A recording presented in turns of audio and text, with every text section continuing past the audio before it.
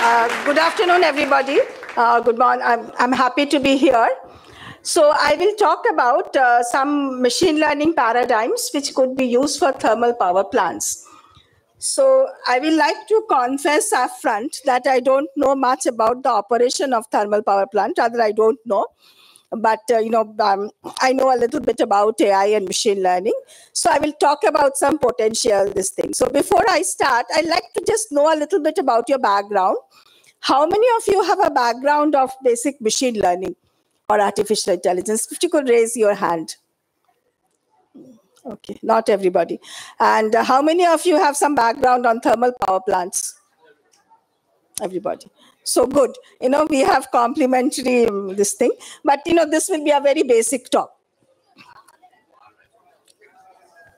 So all of us know, I'll keep this brief, that AI uh, is a system for building intelligent agents. And today we see that AI is used in every sphere of activity because we want to augment what uh, we are capable of doing uh, to increase our efficiency and to be able to do things more efficiently than we can do. And uh, because of this, AI has been ubiquitous in every field. And especially uh, today, we'll talk about machine learning, which is the ability to learn from data. So typical process is that you have some uh, you know, data from which you learn and you get a model. And that model is used for inferencing and reasoning. Very simplistic view, but we'll just start with that. Now, in a power plant, again, you know, please pardon me for my lack of uh, knowledge about power plants sufficiently, but in general, in any manufacturing plant or power plant or chemical plant, where can machine learning or AI make a difference? we want higher quality output. Maybe that's not so much relevant, uh, maybe, to a power plant, but definitely you want increased efficiency, you want to reduce cost, and you need to, uh, you know, uh, stick to the norms, whether it's of emission control, reduce wastage, and so on. So these are some of the, you know, places uh, where uh, you know, AI can be used. And these are some examples uh, which one can think of possibly. For example, the input, you know, one has to look at what type of input uh, to do uh, to achieve, uh, you know, efficient operation and cleaner combustion.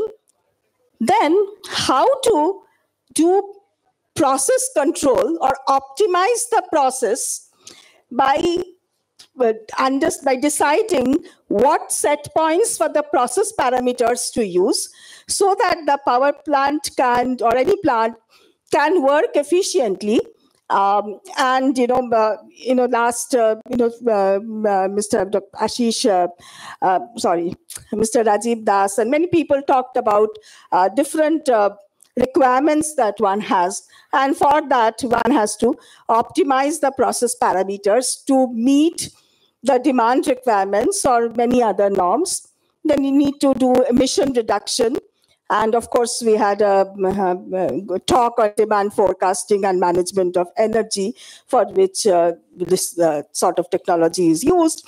And in the morning, many people have talked about predictive maintenance uh, in order to detect, um, uh, you know, when uh, you should have some uh, component for maintenance and then industrial safety. So in an industrial environment, uh, to see that there are no, um, you know, uh, you know, to inspect autonomously, especially in hard to access places, and to detect early that something is going to fail, or you know, there's some uh, accident may, might might not happen, etc then autonomous inspection using image recognition.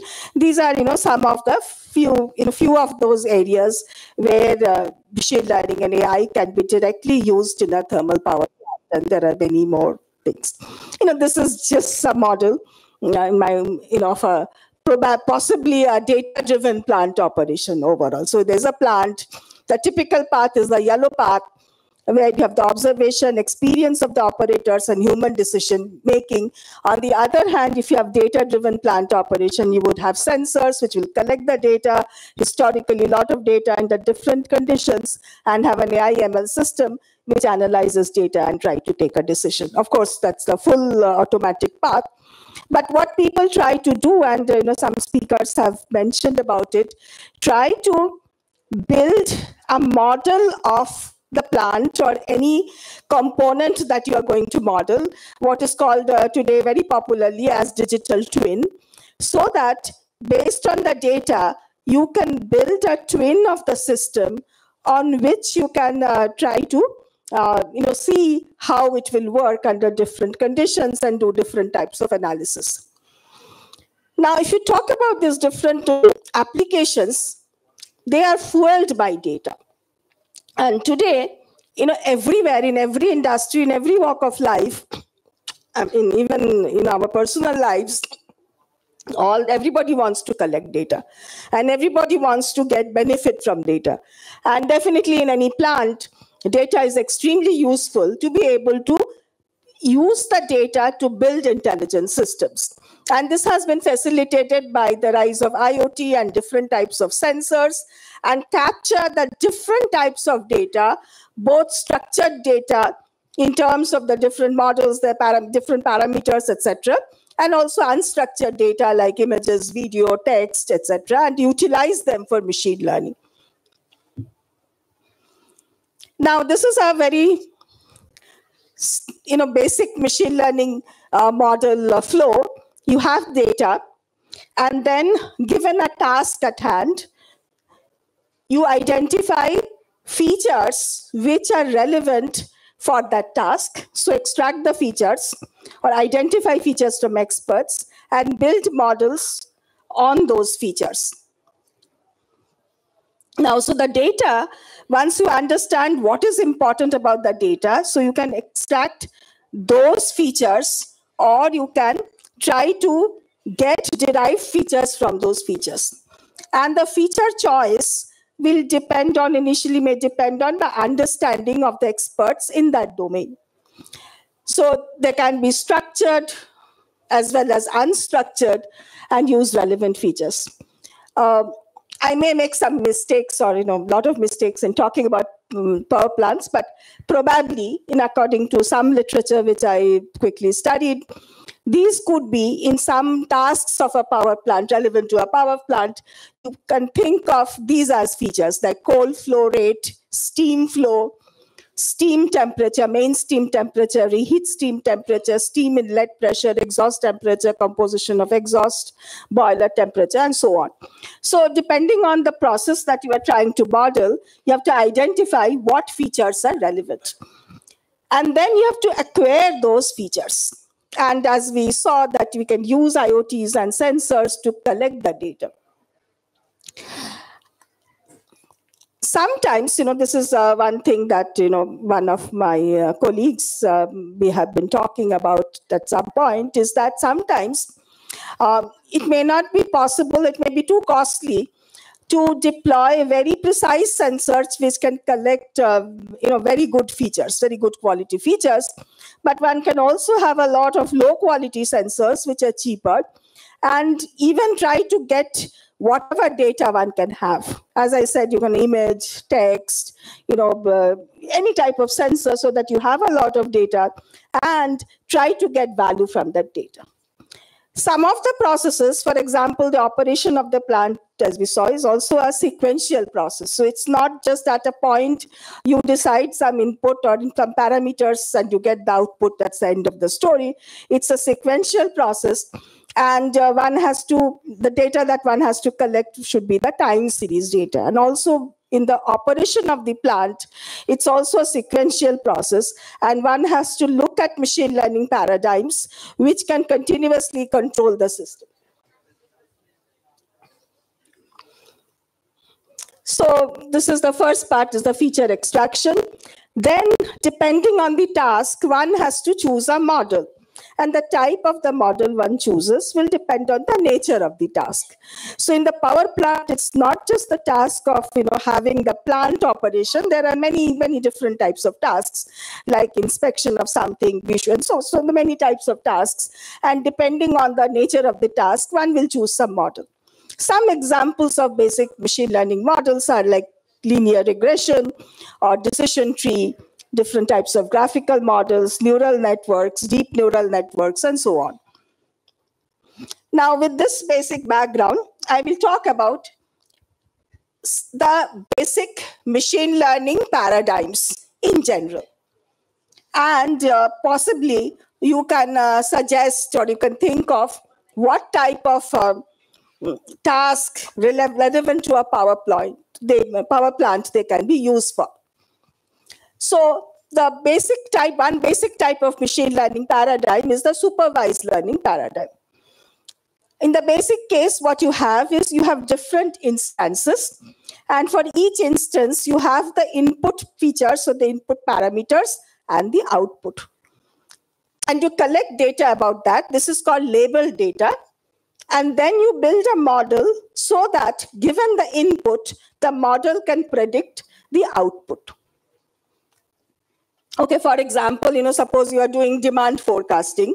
So, you know, uh, the previous speaker talked about some of the parameters which uh, dictate what is the demand whether it is the time of the day or the season or you know other things weekday etc uh, temperature humidity whatever is the parameters required so you can take the collect the parameters and you can have data about different uh, time uh, slots. And you know that historically uh, you know these that was the demand in those days. And from that you can build a model. Then we have unsupervised learning, where you have a lot of data, but you do not have any labels. So this is called unsupervised learning, and there are different uh, types of unsupervised learning. One common type of unsupervised learning is called clustering, and there are other types of unsupervised learning which try to form the model of the data. Then the third paradigm, which is also very useful, is the paradigm of reinforcement learning, which is especially useful when you have a continuous system. So you have the uh, you know you have an interaction the system interacting with the environment continuously. And it's not just at a point you decide what are the what is the output but you have to take sequential action to decide the optimum policy. And we'll talk a little bit about these models um, um, now. So there's also semi-supervised learning where you have some labeled data and a lot of unlabeled data. Now, uh, so in supervised learning, which is the very basic form of machine learning, basic paradigm of machine learning, what you have is training data in forms of features, instances where your features and the output for every instance. And you have to predict, find a function f, which given any xi can predict yi. Okay. So, you know, I went through some of the few recent uh, papers in this domain. So I'll just not talk about the full details about it, but uh, this is one task uh, that we came across. So, which is modeling the power production. So you want to know that given these inputs, how much power will be produced. So this is a very uh, simple example, very standard example of machine learning, which can be applied to a power plant. So the features that they use is coal flow rate, main steam flow, main steam temperature, reheat steam temperature, etc. So these are the some of the features which dictate what is the production of power.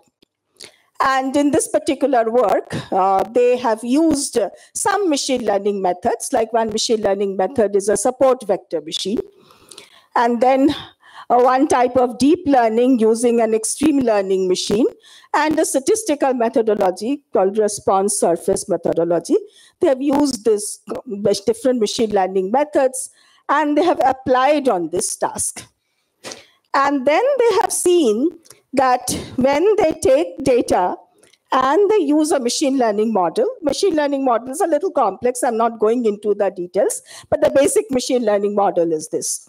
And they are able to demonstrate that there are certain key performance indices relevant to this uh, power production task.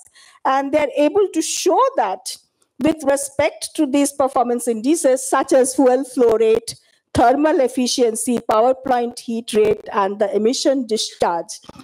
They are able to show that by building this model and using this model, they're able to improve on these uh, tasks. So this is just that this is a demonstration that, uh, you know, so they had a particular task, which is efficient power generation with some net zero goal and you know they also look at not only the production but also the regulations about these emissions etc and they're able to demonstrate that by using this machine learning model they're able to get better efficiency.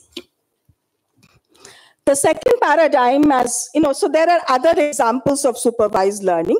For example there are a lot of people a lot of you know tasks in um, manufacturing plants i'm sure in power plants there's a lot of case of using object recognition. So there are, so suppose, you know, again, I'm do not know much about the plant, but there are different components. You want to understand whether a component is in the right state or not, or, you know, if there are different states of a particular object. So people often use computer vision as a classification task to detect the state, state of an object or detect the presence of objects. So these are all supervised classification tasks. Then let's look at an example of unsupervised learning or clustering. So what is clustering? Clustering is one form of unsupervised learning. It's a form where one takes data which is not labeled and tries to find patterns in the data and find the main groups in the data. So group similar objects. And you can think of one application of uh, clustering uh, for anomaly detection. Suppose you have different, uh, you have a lot of data of the normal operation of a plant. And then you apply clustering to group the find the different patterns. And you want to understand when there is some problem, right? And the main problem with understanding this is that the failure cases are very limited. So people who want to do, you know, predictive maintenance, etc., the typical problem that they come across is that there are very few examples of failure cases, lot of examples of normal cases. This is where unsupervised learning is very useful because if you take the normal cases and build a normal model, or in, in the case that there is, you know, there are different scenarios, you can find the major clusters or groups. Then if you find that your current data is not falling into any of these clusters, it means this is an anomalous data, or this is perhaps some problem is going to happen. So you can flag. So unsupervised methods are very useful for abnormality detection and to understand probably something is wrong. Probably this system is looking different or behaving differently than what normally does. And for that, uh, you know, this paradigm of unsupervised learning is very useful. So as I said, anomaly detection using clustering, where you can look at the normal samples and characterize them in some way, either by clusters or by building a model. There are different unsupervised methods using normal machine learning or deep learning to build a model. Nowadays, there are lots of autoencoders and different you know, generative models which can take the data and build models. And then you can find out if your data deviates from the model. So I saw found this paper, uh, which talks about anomaly detection of power plant equipment using LSTM-based autoencoder neural networks.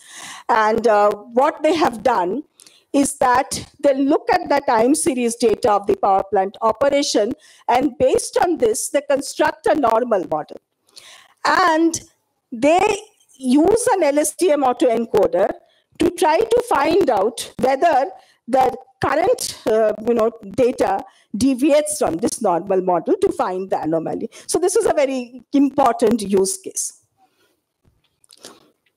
The last type of paradigm I'll talk about today is the reinforcement learning paradigm. So reinforcement learning, you have the agent or your system which is interacting with the environment continuously. So the at a particular time, the agent takes an action on the and then you get you know the output from that action. You get through your sensors and you take the next action. So it's not just one uh, sort of parameters that you have to choose but you have to continually interact with the environment. And in a plant this is what happens. Okay? And so agent take action which the system takes action which impacts the environment. And based on this you perceive through your sensors how the environment is reacting and based on your objectives you also set up your cost function or reward function. So what is it that, you know, whether it's a production or emission, so based on that, you set your rewards or penalties to decide how good they are. And the system works over a time. So this is the paradigm of reinforcement learning. And I saw a very nice paper which was published in AAAI, which is one of the premier AI conferences last year, which used reinforcement learning on the production of a thermal power plant uh, deployed in uh, some uh, large power plants in China. And I'll talk a little bit about that. So, in this work, what these people have done is that they have taken up the task of optimization of the combustion efficiency of a thermal power generating unit, which they call a TPGU. And they want to optimize this. And these are the steps that they have done. So they have collected the data. Now, the data, the problem with data collection is that you only get data about you know what has happened so the data typically may not contain all possible scenarios right? And it is difficult you know typical reinforcement learning there are ways where you can experiment with the system so that you can get more data of all types of scenarios and build a model. But that's not always possible because you don't want to deviate the process by which the power plant is working. So what they have done is that they have built a simulator which will give more data. So they have got some actual data. Using that data, they have built a simulator of the system. I mean, sort of digital twin of the system and use that to get more data. Now, the problem is that this simulator works on only the type of data that you have given. Now, if you use it on out of distribution data, you know, you do not know how much you can trust the output. So, you know, they have considered that in the later operation. But basic idea is that they have got some uh, historical data called the offline data, and then they have used a simulator built on that data to collect more data. And using this data, they have uh, combined data, they have trained a reinforcement learning model to decide how to control the power plant. So I found this total uh, system uh, very interesting. So know, I have limited understanding of the different components of the power plant, but if you uh, if you uh, permit, I'll talk a little bit about the portion that I understood. So uh, what they say that the TPGU, you know, because you know you people are experts, I'm not, but in this paper they say that their TPGU has these three major stages: the coal pulverizing stage, the burning stage, and the steam circulation stage. And in order to build the model, both for the simulator and for building the controls, they have considered all these different stages and what are the different control parameters and the requirements of each stage. And they have identified what are the important constraints and what are the important controlling parameters. For example, for the coal pulverizing stage, uh, they say that the amount of coal should meet the demand load. Then the valves of the cold and hot air blowers have to be adjusted to ensure suitable primary air temperature. These are some constraints. For the burning stage, they say that the, the valves at each of the injection, injection location, the 20 to 48 locations, they need to be controlled precisely. And then there are safety and regulatory issues that need to be guaranteed. So that you have this um, pollutant norms, negative internal pressure, they have to be maintained. For the steam circulation stage, they said that the steam generated needs to satisfy multiple temperature and pressure requirements, which are controlled by the uh, valves, etc. So whatever it is, so in a typical plant, there are a lot of different uh, you know components, and they have their behavior, and they have you know what are need to be done. This is only partly, you know, part of what is reported in the paper. There are several other things. So there are many such number of control parameters. So what they have said is that in their work, they look at about 70 to 100 major continuous control variables and the chemical properties of the coal. That is the input materials. Now I'll take a digression. I'll just.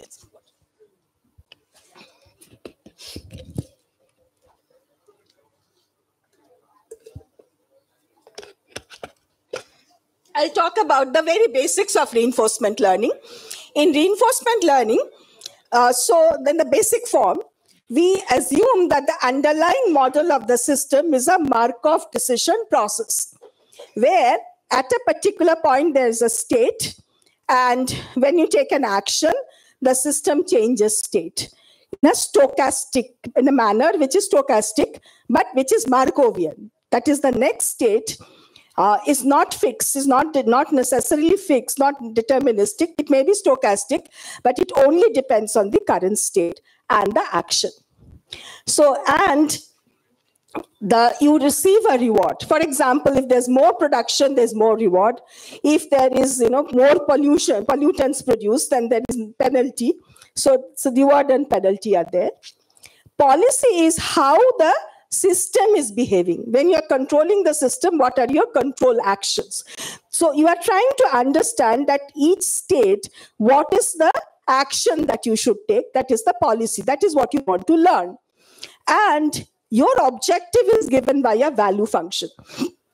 Value function combines the reward and penalty that you get into a function which you want to optimize. And the policy that you have to decide is that action at every state so that this value function is optimized. So for this, the model, underlying model is taken to be a Markov decision process, which has states, actions, rewards, transitions, and value function. And the way you construct the value function, there are different ways.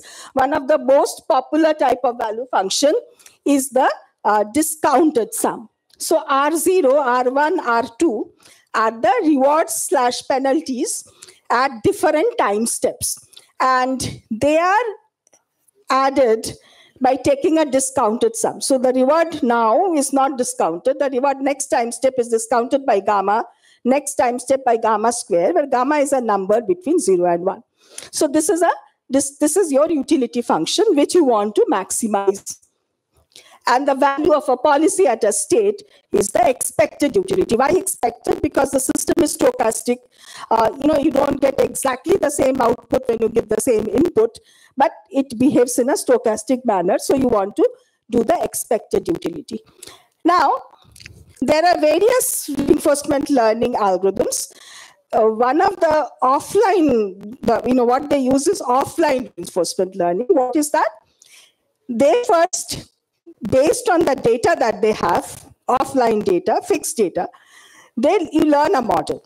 Basically, the model is an MDP. You learn the parameters of the MDP. What are the parameters? You know the states, you know the actions. You have to learn the transition function. That in this state, in the, if you take this action, what is the probability distribution of the next state? You also want to understand the rewards. In this state, this action will give you this reward. So, based on the data, you learn the MDP.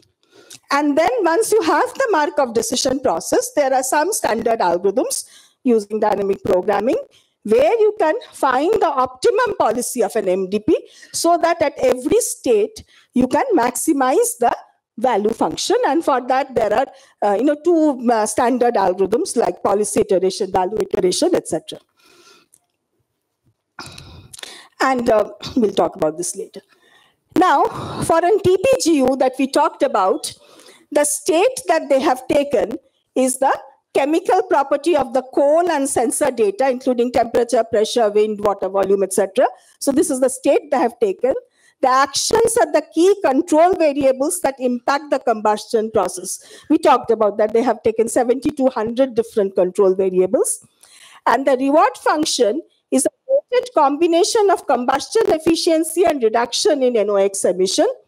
And the cost function, they have safety constraints, etc., which are the regulatory norms.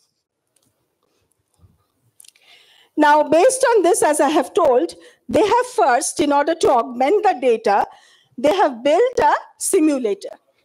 Even to build this simulator, they have used a data-driven machine learning approach. Okay, again, I'm not going into the details, but they do an approximated dynamic model to generate future states. And in order to build the simulator, they do not build one monolithic simulator. Rather, for these three different stages, you know, they have used different machine learning models based on the parameters, etc., and using an RNN, LSTM, fully connected network, different types of neural network. They have built the simulator, which is faithful to the data that they already have. But as I said, they may not the guarantee not guaranteed to work well on the out of distribution data. Now, once they have built a simulator, so that's why this is called an imperfect simulator.